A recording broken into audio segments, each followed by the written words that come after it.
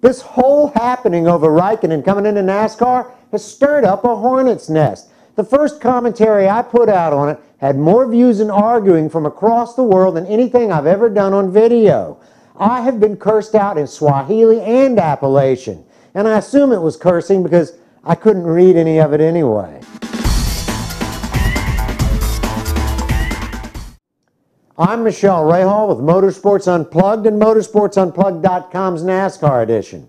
Here's the deal. Get over yourselves. All of you from Egypt, Georgia to Cairo, Egypt. I get this letter, NASCAR drivers will be humiliated by Raikkonen. This is what a crazy European wrote me.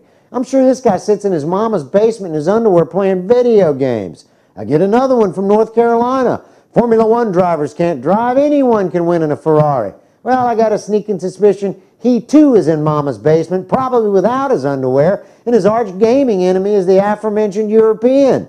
Here's the bottom line. This week, Raikkonen matched Busch's time exactly. He can drive. Bush can drive. They can all drive. And none of them would be in the equipment that they are if they couldn't drive. At the core, everybody should settle down and enjoy what Big Bill France always wanted to happen.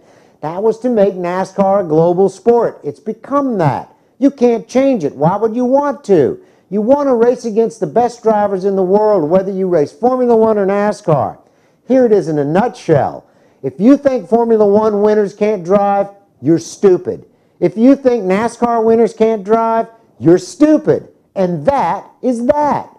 I'm Michele Rahal for Motorsports Unplugged and MotorsportsUnplugged.com's NASCAR edition. I'll see you next time.